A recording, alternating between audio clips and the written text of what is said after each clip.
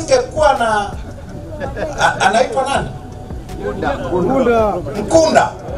Kama msingekuwa na Jenerali Mkunda eh, hiyo barabara ingebakia pale Kongwa, au sio? Kwa hiyo kwa sababu mna Jenerali Mkunda mtapata barabara ya lami. Kongwa wapata barabara ya lami sio kwa sababu wanastahili barabara ya lami, ni kwa sababu walikuwa na spika Job Ndugai. Ndio maana ilijengwa kutoka Mbande mpaka Kongwa. Kongwa na, na, na Mpwapwa haikufika Mpwapwa kwa sababu Jenerali Mkunda alikuwa hajawa mkuu wa majeshi. Sasa mta, mtapata. Kwa hiyo ni habari njema. Mwenyezi Mungu huwa hamnyimi mja wake kila kitu.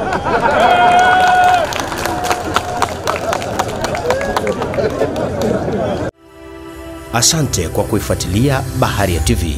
Usisahau kulike, kusubscribe, kucomment na kushare.